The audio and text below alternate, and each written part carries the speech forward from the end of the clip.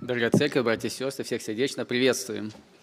Сегодня наши подростки проводят служение на тему благодарения, и мы попросим Божьего присутствия, помолимся. Господь наш, мы благодарны Тебе за то, что Ты хранил нас до этого часа. Благодарность Тебе за привилегию быть на этом святом месте. Господь, благодарим за то, что Ты создал церковь Твою, и Ты сказал, что врата ада не одолеют ее. Господь, и вот уже много поколений мы являемся свидетелями тому. Благослови сегодня наших детей, это чьи-то внуки, правнуки, которые будут участвовать и возвещать эту прекрасную тему. Помоги и научи нас, меня лично, всегда быть благодарным в жизни моей. Благослови это служение. Пусть имя Твое прославится в нем. Аминь. Мы споем номер 130. «Я духом обновления».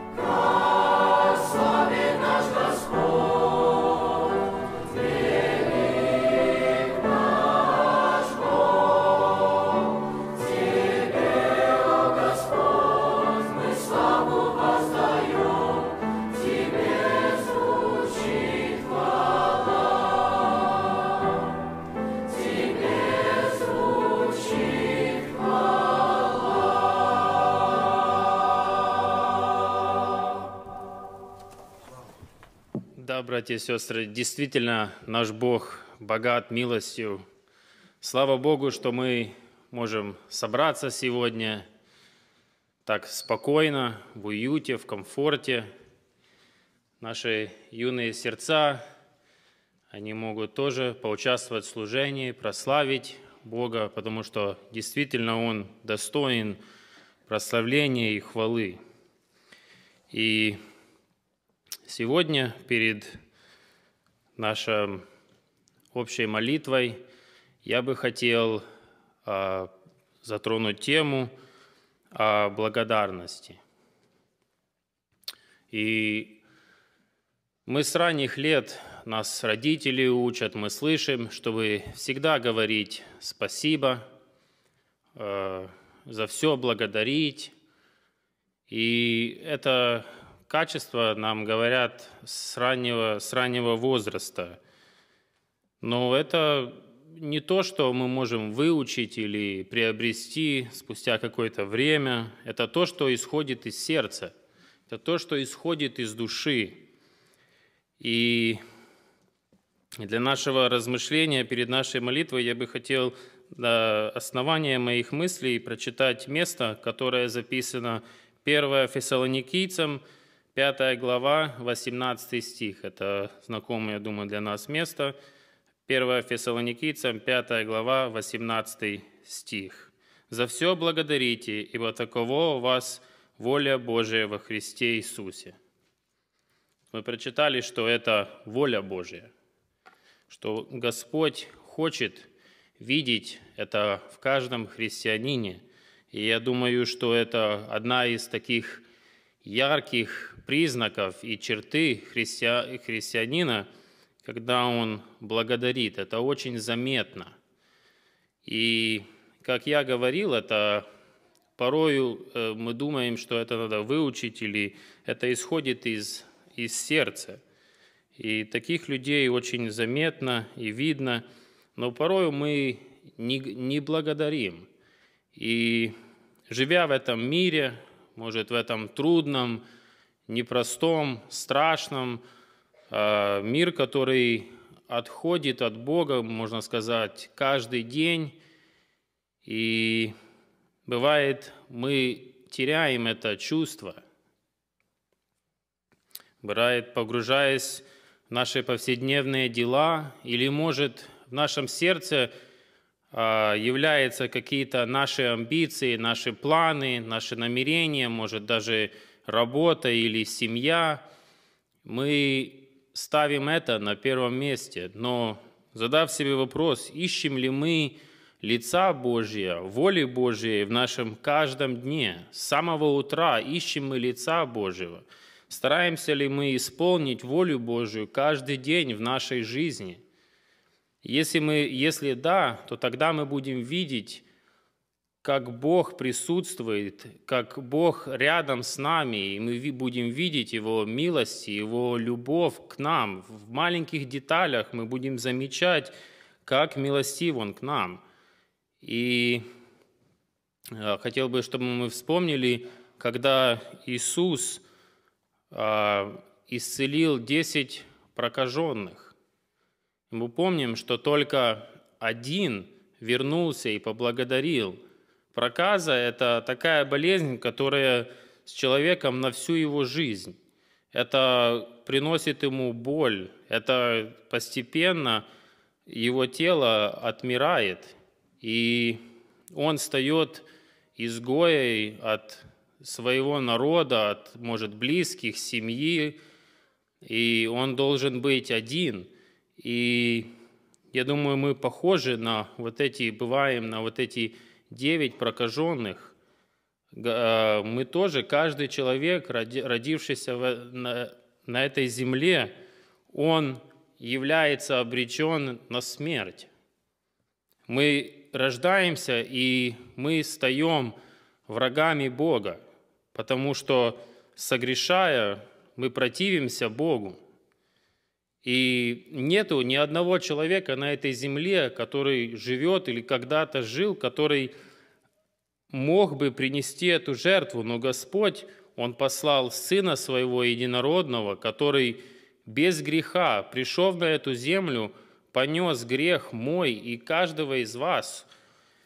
Он, пролив кровь свою, очистил нас от наших грехов. И я думаю, человек, который был обречен на смерть, который имел этот смертный приговор и теперь получил милость, потому что мы ничем не заслужили это.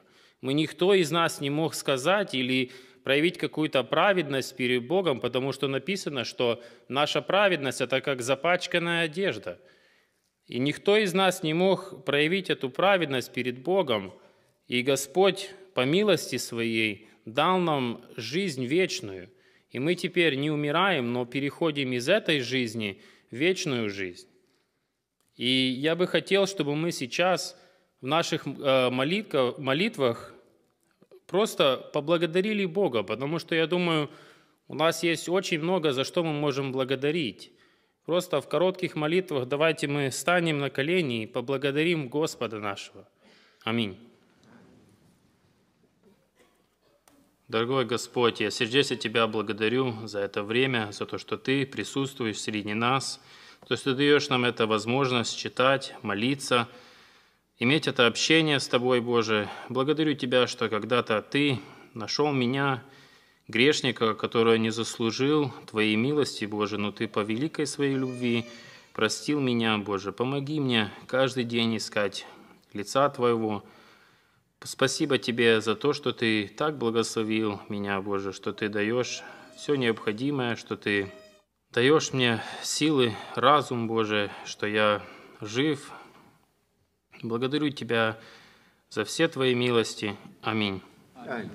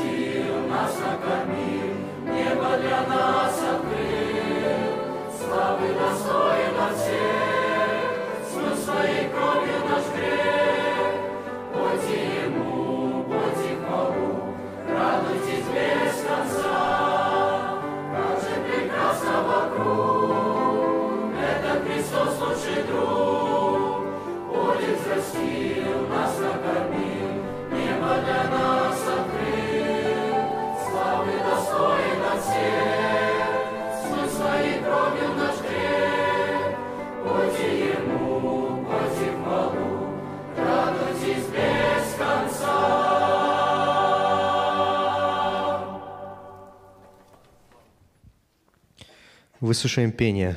Благодарю за все, затем пение «Удивительный остров» и потом стихотворение. Благодарю Творца.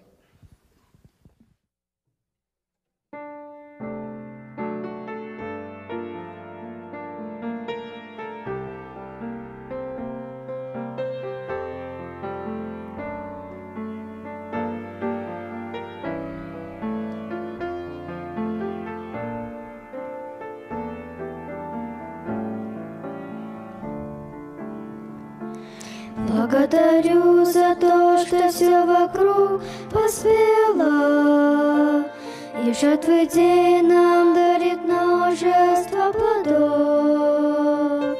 Нас благодать Твоя великая согрела, Вокруг царит Твоя любовь. Благодарю за все, что все вокруг поспело,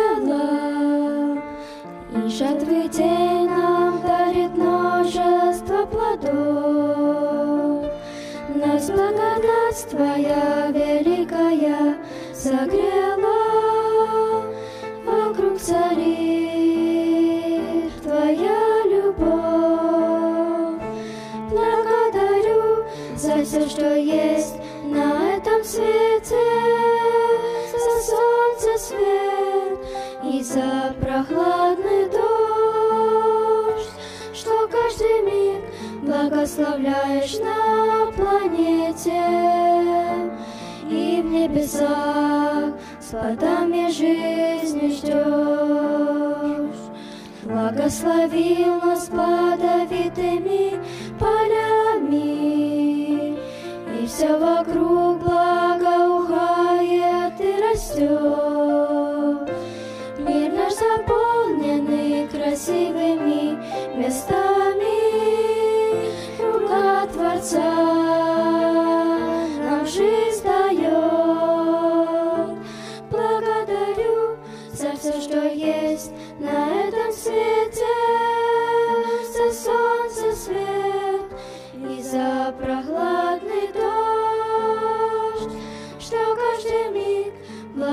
благословляешь на планете и в небесах с плодами жизни ждешь.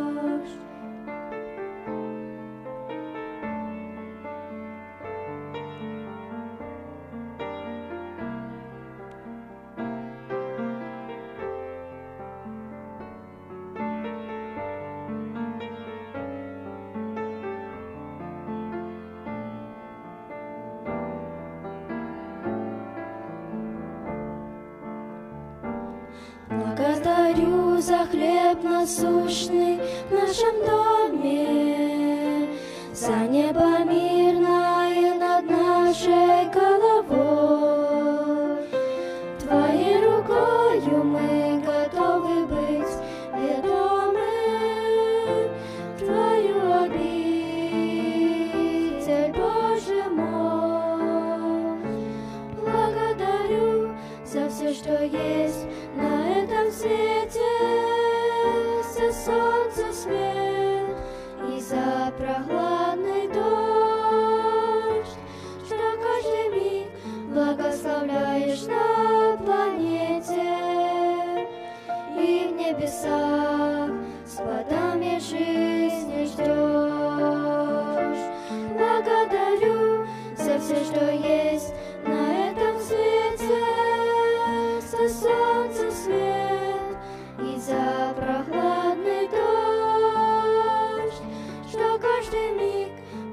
благословляешь на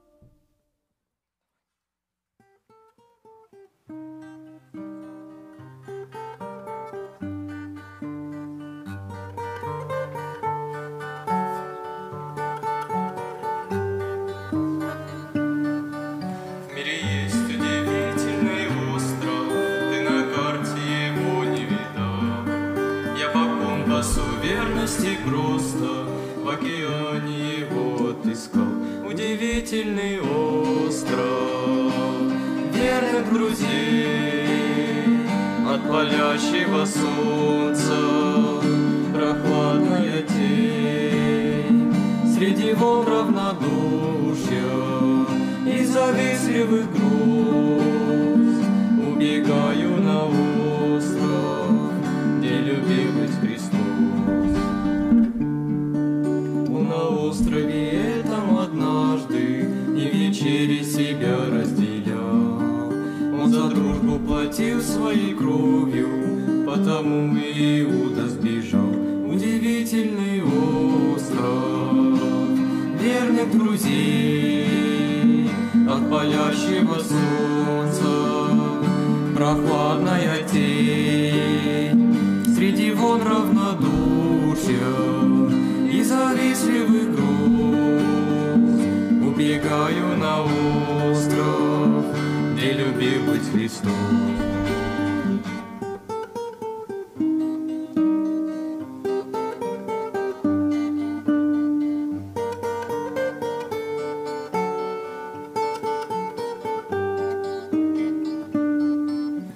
Отыщи обязательно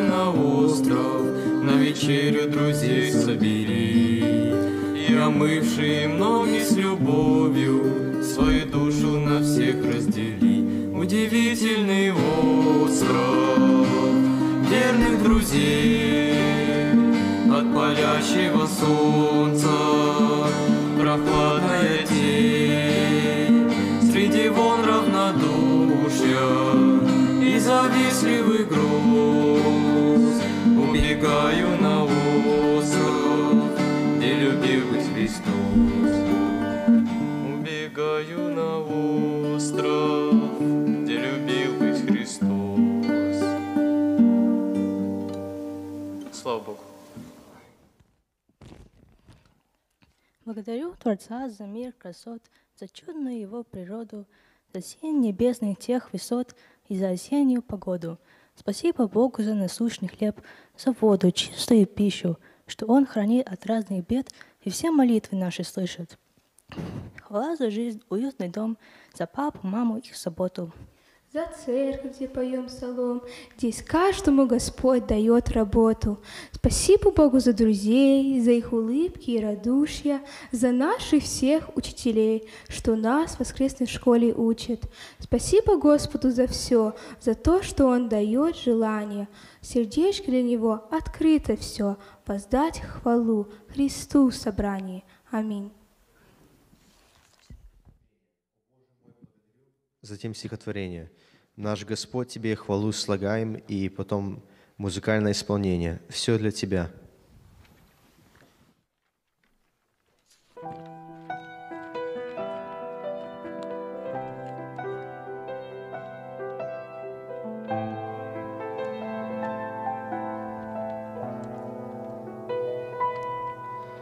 О Боже мой, благодарю за то, что дал моим очам Ты видеть мир Твой вечный храм И ночи волны, и зарю. Тебя я жаждал и не знал Еще не верил, но еще. Пока рассудком отрицал Я сердцем чувствовал Тебя. Везде я чувствую, везде Тебя, Господь, ночной тиши И в отдаленнейшей звезде И в глубине моей души Везде я чувствую, везде Тебя, Господь, ночной тиши И в отдаленнейшей звезде И в глубине моей души. Живу, Тебе молюсь, Тебя люблю, дышу Тобой. Когда умру, с Тобой сольюсь, Как звезды с утренней зари. Везде я чувствую, везде Тебя, Господь, в ночной тиши И в отдаленнейшей звезде И в глубине моей души Везде я чувствую, везде Тебя, Господь, ночной тиши И в отдаленнейшей звезде И в глубине моей души.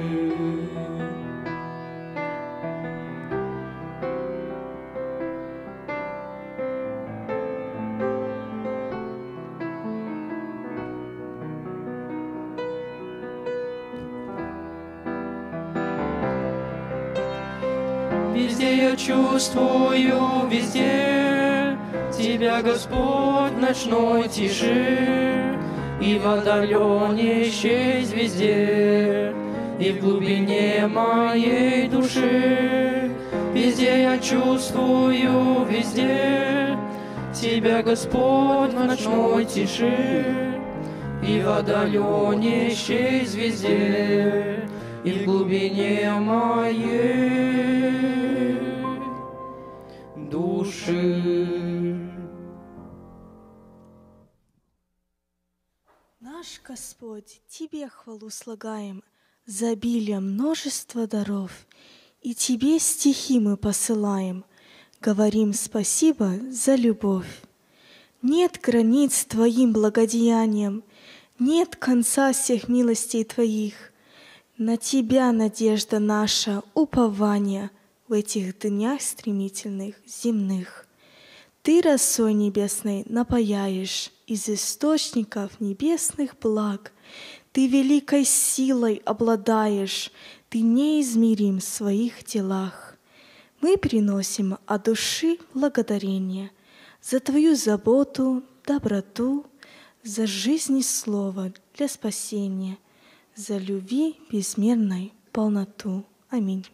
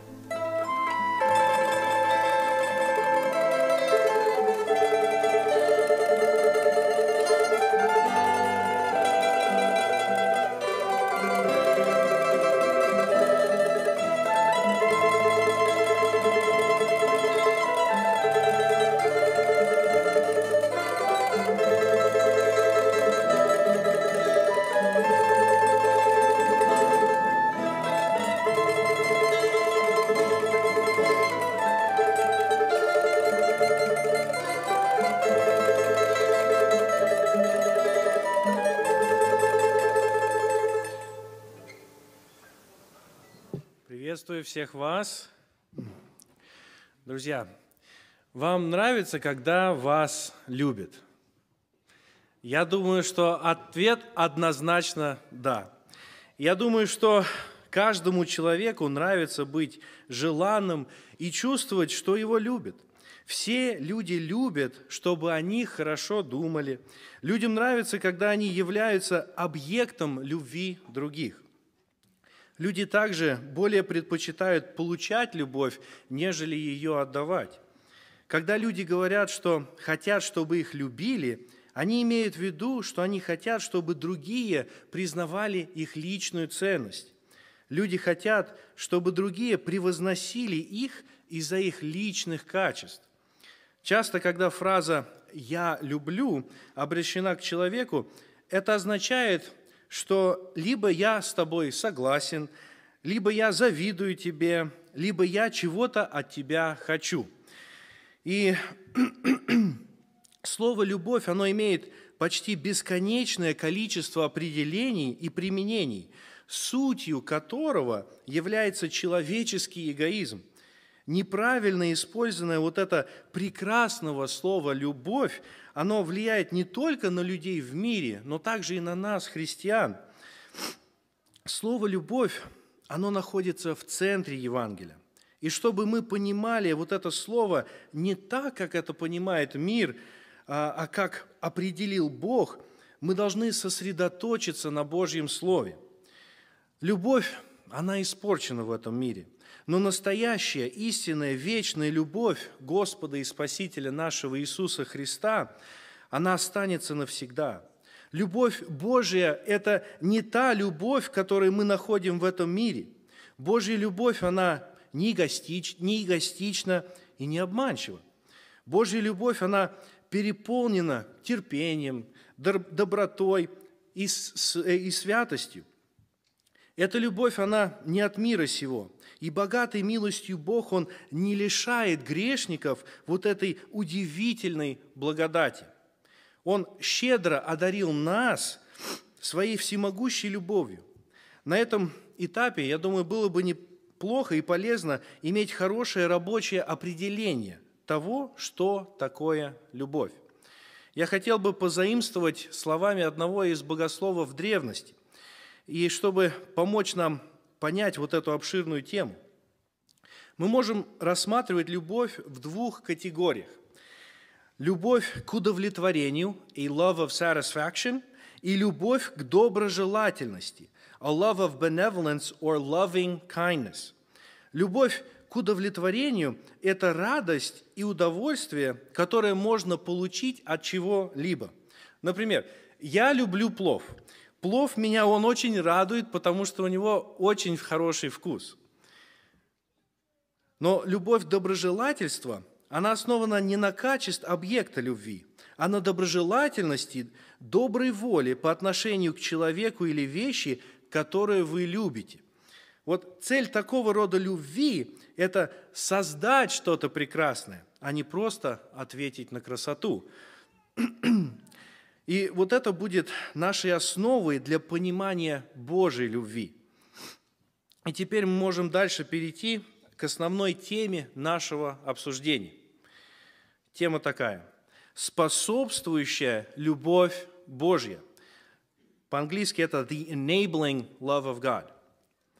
Суверенная любовь Бога к нам способствует иметь любовь к Богу и любовь к ближнему. В нашей греховности мы никогда бы не смогли любить Бога, но Бог щедро одарил нас своей доброжелательностью, дав нам возможность любить нашего Создателя и нашего ближнего. И стих для нашего размышления – это первое послание Иоанна, 4 глава, 19 стих. 1 Иоанна 4, 19. «Будем любить Его, потому что Он прежде возлюбил нас». Другой перевод. «Мы любим, потому что Он первый нас возлюбил». И английский перевод. «We love because He first loved us». Возможно, что вот этот стих – это один из самых просто, простых стихов в Библии – но в этой простоте столько глубины и столько глубокой истины. В переводе этого стиха есть, как вы видели, небольшая разница. Одни переводы начинаются «будем любить его», а другие просто говорят «мы любим». И разница между вот этими переводами, она, они не меняют смысл этого стиха. Но в моем мнении перевод, который мы любим, он лучше и сильнее раскрывает истину любви Божией. Во-первых, слово «будем», которое используется вот в синодальном переводе, оно создает впечатление, что наша любовь ко Христу всего лишь ответ на Его любовь к нам. Он сделал нам что-то приятное, и мы в ответ тоже возвращаем услугу. Но, друзья, как мы позже будем рассуждать, смысл вот этого стиха, он гораздо глубже. И второе, в переводе, которое пишут «мы любим», не используя слово «его», более точнее выражают полный смысл послания от, от Иоанна, что истинная любовь есть любовь не только к Богу, но и к своему ближнему. И вот из-за этих причин в течение проповеди я буду использовать перевод «Мы любим, потому что Он первый нас полюбил». Итак, этот стих, он раскрывает нам источник истинной любви, объект этой любви, силу этой любви, сущность этой любви и эффект вот этой Божьей любви. И, друзья, не позволяйте простоте вот этого стиха умалять его значение. Карла Барта, это одного из известных богословов, его однажды спросили, какая самая великая мысль, которая пришла вам в голову? Его ответ – я знаю, что Иисус любит меня, потому что так говорит мне Библия. Ну, по-английски оно чуть-чуть лиричнее звучит. Jesus loves me, this I know, for the Bible tells me so. Простые истины, но имеют такое, такие глубокие э, влияния. Вам не нужно быть известным богословом, чтобы понять вот этот стих. Мы любим, потому что Он первый нас полюбил. В одной простой фразе апостол Иоанн, он выразил всю широту и глубину Евангелия. Апостол Иоанн, он был уникальным среди учеников из-за того, как Иисус любил его, и как Иоанн чувствовал вот эту любовь. Он известен нам как ученик, которого любил Иисус. Даже в написании Евангелия Иоанн, он не упоминает себя по имени, он смиренно называет себя тем, кого любил Иисус. Я думаю, что поступая так, Иоанн, он выражал свою собственную недостаточность в том, чтобы заслужить вот эту великую любовь Божью. Иоанн, он остро осознал свой грех и то, что этот грех должен был исключить его от Божьей любви. Отказываясь признать свое имя, Иоанн, он продемонстрировал свою недостойность такой любящей доброты от Бога. Это также подчеркивает его понимание того, что Иисус э, имел к нему особую любовь, которая отличалась от любви к другим ученикам. Иоанн, он переживал особый, индивидуальный аспект любви Христа, показывающий, что Божья любовь, она не только не заслужена, но она также и суверенна. Только Бог имеет право выбора, кого Он будет любить и как. Иоанн продолжает вот эти мысли в своем первом послании, которое он написал верующим, чтобы усовершенствовать их радость. Мы любим, потому что Он первый нас полюбил. Мы любим – до этого было время, когда мы не любили Бога. И мы не только не любили Его, но мы никогда бы не смогли полюбить Его, если бы Он первый не полюбил нас. Этот стих, он провозглашает необходимость Евангелия. Мы были врагами Бога, без надежды примирения, пока Бог не возлюбил нас – этот стих, он показывает всю серьезный, серьезность нашего, нашей развращенности. До того, как Бог возлюбил нас, мы были грешниками, мертвыми по преступлениям нашим, без каких-либо признаков жизни. Будучи мертвецами, мы не имели общения с Богом. Наш грех, он ослепил наши глаза на истину, что Бог есть свет – мы не соблюдали Его заповедей и не ходили так, как ходит Он. Мы не любили Бога, потому что мы были влюблены в похоти мира. Мы творили беззаконие, а всякий, делающий беззаконие от дьявола. У нас не было никакой надежды, пока мы не перешли от смерти в жизнь силы Его любви. Но все это может звучать слишком резко – и, может быть, вы не считаете, что вот это подходящее описание вашей греховности. Но, друзья, по милости Божией, большинство из нас, мы не раскрыли весь потенциал нашего зла.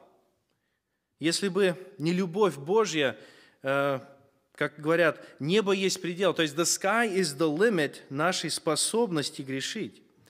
Как сказал С.С. Луис, один знаменитый теолог, ни один человек не узнает, насколько он плох, пока не приложит максимум усилий, чтобы быть хорошим. Описание нашей развращенности, которое я только что дал, оно взято непосредственно из послания Иоанна. И я прошу вас, друзья, на неделе, когда у вас будет время, прочитайте вот это послание, и вы увидите там кто мы есть, кто мы были и как нас Бог э, видит. Мы любим, потому что Он первый нас полюбил. Как понять, что Бог нас любит? Многие лжеучителя в мире хотели бы, чтобы вы думали, что Бог любит нас такими, какие мы есть. Они хотят, чтобы вы думали, что Бог любит грешника и просто всего лишь ненавидит его грех. Как один раз э, выразился знаменитый проповедник Пол Вашер, Если вы скажете грешнику, что Бог любит его, он ответит, это здорово, потому что я тоже люблю себя. Но, друзья, Писание говорит нам о другой истине. Бог ненавидит грешника и делающего беззаконие, и наказывает грешника вечными страданиями. Теперь вспомним то значение любви, которое я дал в начале проповеди. Любовь к удовлетворению и любовь к доброжелательству. У Бога нет удовлетворения во грехе, и Он не может иметь такой любви грешникам. Это противоречит Его природе. И любить грешников такими, какие они есть. Но Бог любит грешника своей суверенной, доброжелательной любовью – в нас нет ничего доброго, однако Бог хочет выразить нам свою добрую волю для нашего блага, для нашего спасения. Мы любим, потому что Он первый нас полюбил. Христиане и нехристиане часто задают вопрос, как любящий Бог может отправлять людей в ад? Ну, на этот вопрос, я думаю, ответить очень легко – Просто подумайте обо всех примерах, которые я только что привел из всего лишь вот этого первого послания Иоанна. Разве вот этих фактов недостаточно для того, чтобы человеку почувствовать гнев Божий? Сложнее ответить на следующий вопрос. Как? Как может святой Бог любить развращенных, грешных людей? Бог любит нас не за наши качества или достоинства – Любовь Бога к людям – это не любовь удовлетворения. Он не испытывает радости или удовольствия от того, что грешные люди делают или мыслят. У грешников сердца настроены против характера Бога, и поэтому заслуживают скорее Его гнев, нежели Его милость. Тогда как может Бог любить такого злого человека – God loves people not for what they are, but because of who He is. Любовь Бога заключается не в нашей ценности, а в качестве характера Бога. Бог есть любовь. Любовь Бога к падшему человечеству, она выражается в Его благожелательности. Бог, Он желает людям добра, хотя иное и совсем не заслужено. Иногда говорят, что человек имеет право решать, в чьей команде он находится. В команде Бога или в команде дьявола. Я подозреваю, что, говоря такие лозунги, люди, они не совсем понимают свое положение перед Богом. Во-первых, из-за грехопадения мы уже противники Бога. Как апостол Павел написал к Ефесянам, 2 глава, 3 стих, что мы были по природе чадами гнева. Во-вторых, человек просто полагаясь на силу своей воли, не может решить попасть на Божью команду. Друзья, это не мои слова. Прочитаем Евангелие от Иоанна, 1 глава, с 12 до 13 стиха. «А тем, которые приняли Его, верующим во имя Его, дал власть быть чадами, то есть детьми Божьими, которые не от крови, не от хотения плоти, не от хотения мужа, то есть желаний или намерений человека, но от Бога родились. Английские переводы в этом случае еще ярче выражают эту мысль. Who were born not of blood, nor of the will of the flesh, nor of the will of man. Буквально это волей человека, but of God. Но от Бога родились. Друзья мои, пожалуйста, послушайте внимательно. Вера в Бога – это дар – дарованный нам Богом через свою любовь. Если бы Бог не явил бы нам своей любви через Иисуса Христа, мы бы никогда в Него не поверили. Только Бог имеет абсолютное право любить нас или нет. Только Бог имеет абсолютное право любить нас или нет.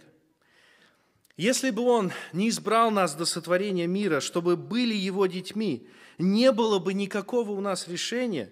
Если бы Бог не любил нас лично, если бы Бог не решил показать нам свою добрую волю к отношению к нам, мы бы остались в своем грехе, в своем зле, в своей ненависти к Богу. один из моих друзей, он сказал, его Иисуса, совершенная любовь могла бы быть возможна по отношению к такому злому существу, как развращенное человечество, только если бы его совершенный гнев по отношению к греху мог быть полностью и окончательно умиротворен. В этом и есть величие креста Его Сына, кого Он всегда любил совершенно. Апостол Иоанн, он описывает Бога как свет, истину, жизнь, праведный, верный, вечный. И все вот эти качества, они являются отражением Его святости.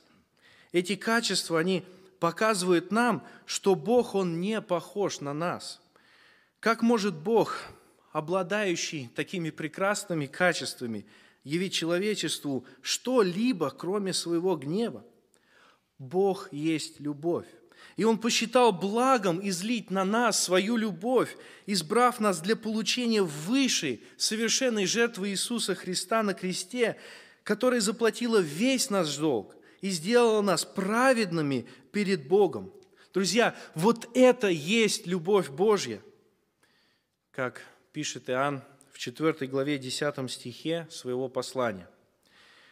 «В том любовь, что не мы возлюбили Бога, но Он возлюбил нас и послал Сына Своего в умилостивление за грехи наши. Именно так Святой Бог любит грешников. Именно так, друзья, Он возлюбил нас. Бог послал Сына Своего, которого Он любил совершенной любовью, умереть за нас, чтобы спасти нас от гнева Божьего для славы Его. Бог любит нас из-за своей славы – он любит нас не потому, что мы такие хорошие, привлекательные или достойные. Бог, Он не нуждается в нас. Он не обязан одаривать нас своей любовью. И вот эти истины, они должны привести нас в глубокое, в глубокое смирение и в радостное прославление, в хвалу нашему Господу. Мы любим, потому что Он первый возлюбил нас. Мы любим. Если вы сравните вот эту истину с правдой нашей предыдущей злой жизни, она станет просто необъяснимой. Какая радикальная трансформация. Бог изменил нашу ненависть к Нему в любовь. Мы любим Бога, потому что Он первый нас полюбил. Любовь Бога, она рождает новое сердце, которое способно любить. Мы можем любить Бога и можем любить своего ближнего, потому что Бог первый полюбил нас. Друзья, заканчивая нашу тему, я думаю, вот эти факты, вот эта реальность Божьей любви к нам, которая совсем к нам, которую мы недостойны получить, который Бог проявил к нам – Друзья, в нас, как верующих, это должно производить вот это чувство великой благодарности Бога. Сегодня тема нашей, а, нашего служения – это благодарность. И я думаю, что может быть выше благодарности за Божью любовь, которой мы с вами недостойны. Да прославится Бог за это. Аминь.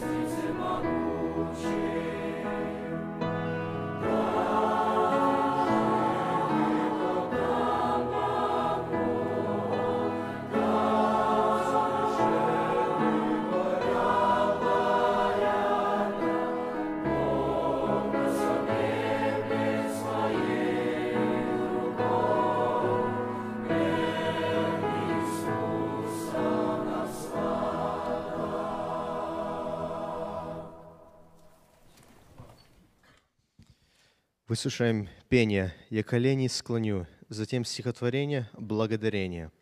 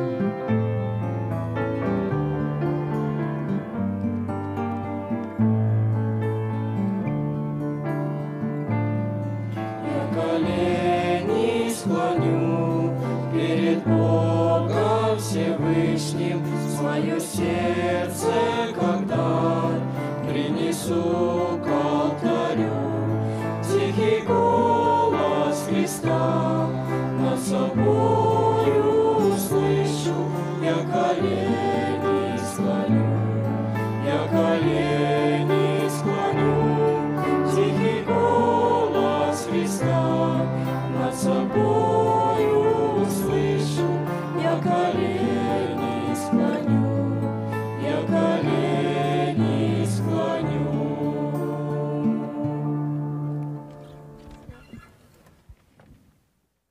Среди забот и суеты земной, среди радостей и жизненных волнений, так часто забываем мы с тобой об искреннем простом благодарении. За все, что щедрая рука Творца дарует нам, ничтожным человеком, кто сосчитал все милости Отца, что Он являет от начала века. Как часто ропщину судьбу свою, как часто недовольны мы чем-либо, вместо того, чтобы сказать Ему за все свое сердечное спасибо. Пусть даже не вопищень дела, как говорит нам Авакума книга, в загонах не осталось бы скота, от всех усилий не было бы сдвига, но и тогда нам говорит пророк, о Господе он радоваться будет, и Богу своему всегда и в срок хвалу воздадим все же не забудет. Давайте станем подражать Ему, благодарить за то, что мы имеем. Прости нам нашу, Господи, вину, что этого еще мы не умеем. Прими нашу ничтожную хвалу за все дары и все благословения, и научи нас, чтобы всю жизнь свою мы пребывали бы в благодарении. Аминь. Слышаем пение «Благодарю Господь» и затем стихотворение «Быть благочестивой и довольной».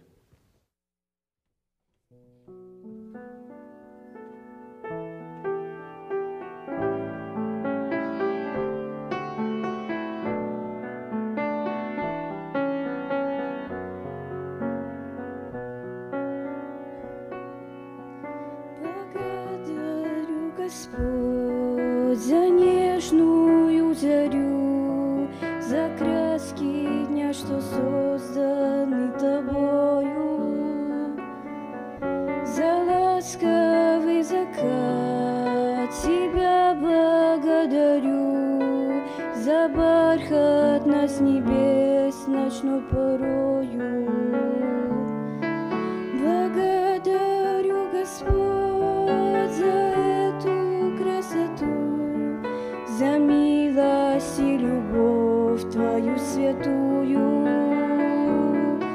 за дивные дела и небо синеву.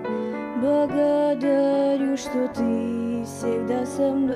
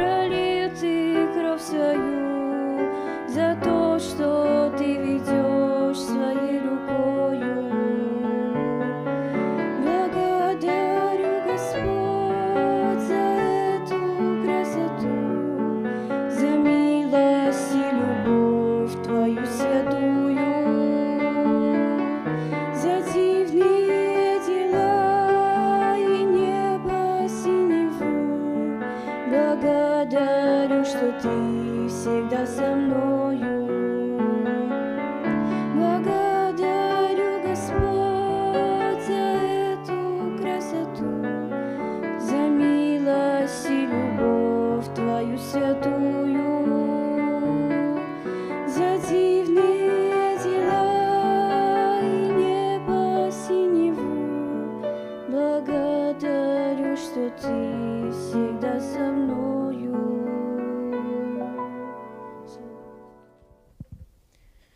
Быть благочестивой и довольной, высшее достоинство души. В зимний холод, в летний полдень знойный, в шуме городов лесной тиши. Равно как здоровье, так в болезни, славить за, славить за дары небес Творца, за скалою и над краем бездны, не менять ни сердца, ни лица. Благодарность — это не избрание, не в последних числах ноября. Благодарность — это состояние, идеал земного бытия. Благодарность — это когда хочешь, как Христос в страданием своем, от души сказать «Прославься, Отче, в каждом деле на земле моем». Аминь. Пение. Благодарю за то, что вокруг поспело, и затем музыкальное исполнение «Храни себя».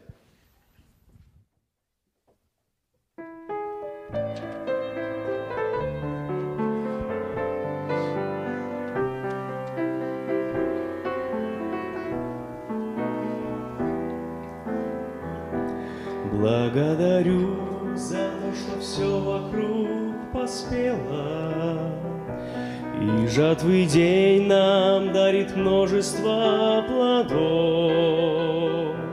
Нас благодать Твоя великая согрела, Вокруг царит Твоя любовь.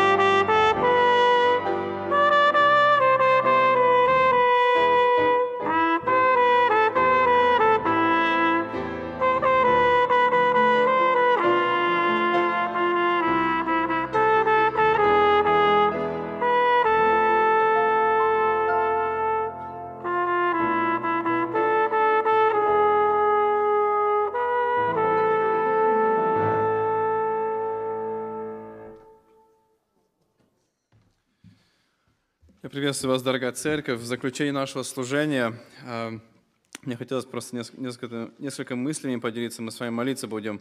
А как вы уже заметили, что тема сегодня была тема благодарений, и тема, о которой братья говорили до меня, мы сегодня хотели особенно а, уделить а, внимание на тому, чтобы поблагодарить Бога именно за Иисуса Христа. А, Вообще мне хотелось бы, чтобы каждое наше служение уделяло внимание а, на Иисуса Христа. Как-то Чарльз Сперджин, а, король проповедников, сказал такую фразу, он говорит, девизом каждого служителя Божьего должно быть следующее – проповедовать Христа распятого. И продолжал, он говорит, проповедь без Христа подобна хлебу без, а, без муки. Без муки. Если в твоей проповеди не проповедан Христос, тогда иди домой и никогда больше не проповедуй, пока не найдешь то, что стоит проповедовать. И как хотелось бы, чтобы каждая проповедь, которая звучит с наших кафедрах, в наших церквях, она проводила нас к Иисусу Христу чтобы приводила нас к этому Голговскому Христу, чтобы приводила нас к этому сокрушению перед Господом, чтобы мы почаще напоминали друг другу именно то, что для нас с вами сделал Иисус Христос. А, и вообще у нас а, в нашем служении подростковом и среди, ну, особенно среди вожатых лидеров, а, мы поставили для себя такую цель, чтобы указывать подросткам на Иисуса Христа. Это будто в личных разговорах или в беседах, или в темах, чтобы как-нибудь говорить именно о Иисусе Христе. Друзья, потому что ведь только Христос является нашим искупителем. Только Христос является победителем. Иисус Христос является этим единственным героем в Божьем плане спасения. И даже сам Бог говорит о Сыне Своем, говорит, «Се есть Сын мой возлюбленный, в котором мое благоволение». И Он также говорит, что «посему я дам Ему часть между великими и сильными будет делить добычу за то, что предал душу свою на смерть. И, друзья, мы с вами не просто так называемся христианами, потому что Христос является центром нашего вероисповедания. И если Христос является центром нашего вероисповедания, то Он должен быть для нас дороже всего на свете. И мне хотелось бы прочитать один стих, а для нас это 1 Петра, 2 глава, 7 стих – Итак, Он для вас, то есть для нас с вами, для верующих, драгоценность, а для неверующих камень, который отвергли строители, но который сделался главой угла камень протыкания и камень соблазна. Друзья, вопрос, на который я бы хотел, чтобы мы каждый себе задали в этот вечер, какой ценою для меня является Иисус Христос? Какой ценою для меня является Христо, Иисус Христос? Сегодня этот мир ценит все, что все что угодно, все, что не имеет никакого значения. Люди сегодня держатся за все, что возможно, за какие-то ценности, за, может быть, дома свои, за машины, за близких, за родных, за какие-то пенсионные фонды. А за кого или за что мы с вами держимся? Какой ценой для нас является Иисус Христос? Мы сегодня с вами говорим о теме благодарения, и а мне хотелось бы, чтобы мы с вами в наших молитвах особенно поблагодарили за Иисуса Христа. Почему? Потому что кровь и искупительная жертва Иисуса Христа, она достаточно нам, чтобы полностью отдать все, чтобы посвятить себя именно ради Иисуса Христа, потому что мы с вами, друзья, в таком долгу перед Христом, что все наши жизни даже не хватит, чтобы отплатить Ему. Если мы посмотрим даже в начале создания человечества, мы увидим, что каждый человек, он, он родился грешником в этот мир. И в Библии нам Слово Божье говорит, что все мы согрешили и все лишены славы Божией. И когда Бог создавал этот мир по, и человека по образу, по подобию своему, Бог никогда не сделал нас для того, чтобы мы грешили. И Он создал идеального и совершенного человека без всякого греха, без всякого порока. Но мы, как люди, как человек, мы все равно сделали этот выбор, и мы совершили этот грех. И мы с вами не только совершили грех, но человек, он полюбил этот грех, он полюбил это зло. И, друзья, впоследствии этого произошел этот разрыв – между Творцом и творением. Но что и, и Бог, будучи праведный и святой, Он не может иметь что-то общее с греховным творением. Но для того, чтобы удовлетворить этот святой и справедливый гнев Бога, необходима была жертва. Необходима была смерть, необходимо было, чтобы было пролитие крови. И, дорогие мои, мы с вами должны были быть этой жертвой – мы с вами должны быть были уничтожены за наши грехи. И если мы рассчитываем на наши какие-то дела или, может быть, на наши поступки, что мы как-нибудь оправдаемся нашими делами или, может быть, как-то подкупим Бога, мы глубоко ошибаемся. И если мы думаем, что, может быть, мы живем праведной жизнью, что мы предстанем перед Богом, и двери рая, они просто откроются сами по себе, мы также глубоко ошибаемся. Потому что, как уже цитировал первый брат этот стих, праведность наша, как запачканная одежда. Но, друзья, эта жертва, она все равно необходима. Эта кровь все равно была ну, нужна, и поэтому Иисус Христос, Он делает этот шаг вперед. Он отдает самого себя для того, чтобы принять эту чашу гнева Отца Своего. И Он становится между нами и Богом, Он создает эту стену для того, чтобы принять на себя грех всего этого мира. И написано, что Он изъязвлен был за грехи наши и мучим за беззаконие наши – И написано, что Господу угодно было поразить его. Но почему? Почему ему угодно было? Потому что справедливость и святость Бога были проявлены этой жертвой. И, друзья, мы с вами имеем надежду на вечную жизнь с нашим Богом только посредством Иисуса Христа. И когда мы предстанем с вами перед Богом, мы не будем говорить, ну, Господи, я уже с детства исполняю все заповеди, все законы. Когда мы перестанем перед Богом, мы не будем говорить, Господи, я уже давно хожу на собрания, я читаю Библию, я молюсь. Мы не будем говорить, что, Господи, мы уже столько лет, я уже участвую в служении. Нет, потому что только посредством Иисуса Христа, Его пролитой крови, мы с вами оправданы перед Богом. И, друзья, Иисус Христос является нашим ходатаем, Он является нашим заступником, Он является нашим искупителем, поэтому так хотелось бы, чтобы мы с вами понимали, насколько мы счастливы в том, что мы знаем Иисуса Христа. Как-то одного богатого человека спросили, что для вас – является самым ценным в вашей жизни. И он долго не думая ответил, что для меня самое дорогое – это почка, которую мне отдал мой брат мой, потому что без нее я просто не мог бы жить. Друзья, является ли Христос для нас с вами нашей жизни, частью нашей жизни до такой степени, что мы просто не можем без Него жить? Поэтому, друзья, пусть Господь благословит нас, чтобы мы с вами не забывали, какой драгоценной ценой мы с вами достались нашему Иисусу Христу. И давайте в молитвах наших мы поблагодарим нашего Господа за эту искупительную жертву, за ту цену, которая была заплачена за каждого из нас. А Ему слава за все. Аминь. Господи, слава Тебе, хвала и благодарность, Господь, за Сына Твоего, Господи. Спасибо Тебе за Иисуса Христа, за эту жертву, за пролитую кровь, Господи, за то, что Ты принял это, Господи, за каждого из нас эту, эту смерть, Господи, хотя мы должны были умереть на этом Голговском кресте, Господи. Помоги нам научиться, Господи, Тебя любить так, как Ты достоин быть любимым, Господи. Помоги нам не забывать, какой драгоценной ценой мы искуплены, Господи. Я прошу Тебя, Ты благослови нас остаток этого вечера, и пусть только имя Твое будет прославлено. Бог мой, аминь. Аминь.